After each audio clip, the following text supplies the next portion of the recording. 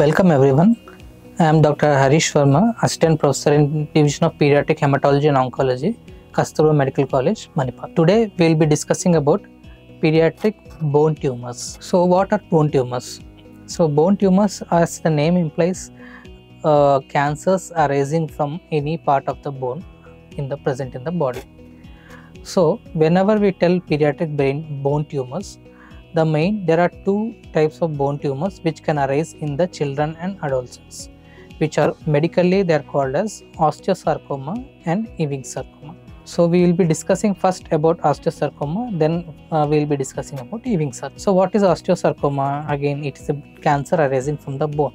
So mainly it is seen in adolescent and young adults. That is usually around 10 to more than 10 years of age. That is in the where the height of the child rapidly increases and also in the young adults. So mostly the uh, these patients usually come with pain around the knee joint. And uh, on they can also present with pain swelling all around the knee joint. In addition to the knee joint there are other areas which commonly uh, this cancer can occur is around the ankle joint around the shoulder joint and also in the hip joint. It is very rarely very very rarely it can occur in the pelvic bones and in the vertebral bones. So once the uh, child presents with increasing pain increasing swelling uh, usually they present their, their local doctors or local orthopedician. The first uh, uh, at firstly they, they may consider some possibility of infection or they may consider some possibility of trauma. So they may give some topical antibiotics and all. But even on that if the pain is not responding and if the pain is increasing in severity then a possibility of underlying malignancy should be strongly considered. In such cases the child should be promptly referred to an orthopedic oncologist or a pediatric oncologist.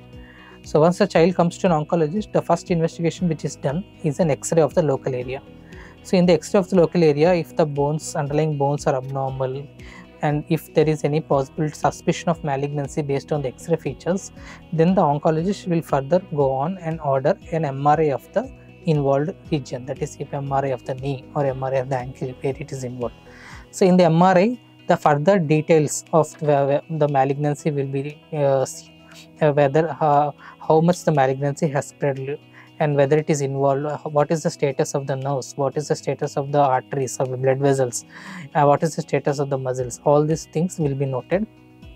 So subsequently the child will be subjected to one what is called biopsy of the region.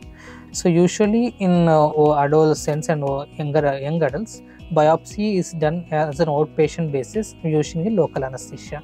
In young children or somewhere sometimes when the deep seated lesions where uh, only then the child will be this biopsy procedure will be done in operation theater using general anesthesia. So once the treatment is completed the child is usually kept under follow up under both pediatric oncologist as well as orthopedic oncologist for up to a period of 5 years. So regarding the outcome uh, if the disease has not spread anywhere elsewhere and the disease is only uh, limited to the involved bone only, then the outcome is good. It is usually around 70%, means out of 10, 7 children will be cured. However, if the disease has spread to the other areas involving the lungs and all, then the outcome is not good. Um, it, it usually decreases to less than 50%. So that's why initially early diagnosis, early suspicion of malignancy before it spreads to the other areas, and then early referral to orthopedic oncologist or a pediatric oncologist to a tertiary cancer care center is always important uh, for a uh, good survival outcomes in osteosarcoma. Regarding the next uh, bone tumor, which is Ewing sarcoma, uh, the presentation and the clinical symptoms almost all of them are similar to that of osteosarcoma so they also present in the bones. But Ewing sarcoma can present in any age. It can present from younger children it can present in older children it can present in adolescents. And it can present in any part of the bone. It usually presents in the middle part of the bones. That is it can present in middle part of the thigh middle part of the leg middle part of the arm. It can also present in the pelvic bones and the vertebral bones so the diagnosis is almost similar to osteosarcoma. The child will be initially done an X-ray, followed by an MRI, followed by bone biopsy. and after bone biopsy once the pathologist confirms that it is Ewing sarcoma again uh, the uh, the whether the disease has spread to other parts of the body it for that PET CT scan will be done and then it will be uh, seen whether the disease is limited to the bone or whether it has spread to other parts of the body. So regarding the treatment, so first uh, treatment involves as osteosarcoma it involves chemotherapy and surgery, but in Ewing sarcoma uh, there is a role for radiotherapy. So first the child will be subjected to three to four cycles of chemotherapy. After that the local uh, regarding the tumor uh, treatment planning will be done whether to take up for surgery or whether to take up for uh, radiation or whether to take up for both surgery followed by radiation so this treatment decision will be taken usually involving a group of doctors. So many factors are considered in that regarding the location of the tumor size of the tumor and after surgery how much the tumor has responded to the chemo. So based on that whether radiation is needed or not that will be decided. So after this local treatment then the subsequent cycles of chemotherapy are continued.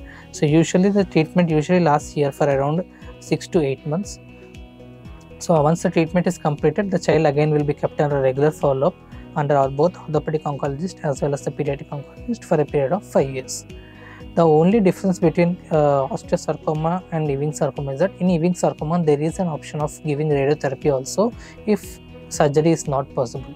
So if in places where surgery is not possible like in vertebra, pelvic bones and all, they are, the child is usually given radiation therapy means a high intensity radiation will be given to that area, tumor area so as to destroy the tumor cells.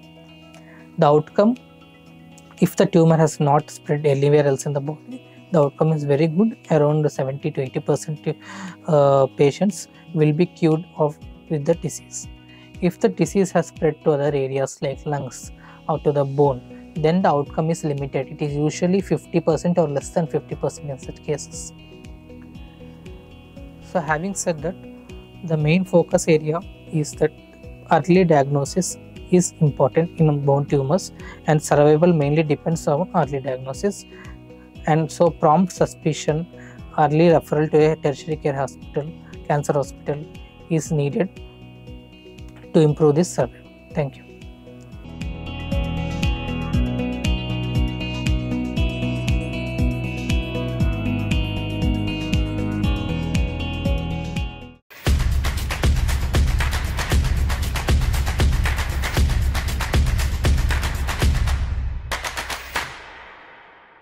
ಇಡೀ ಜಗವನ್ನೇ ಅಂಗೈಲಿ ನೋಡಿ ನೋಡಿ ಜನಮನದ ಈ ಜೀವನಾಡಿ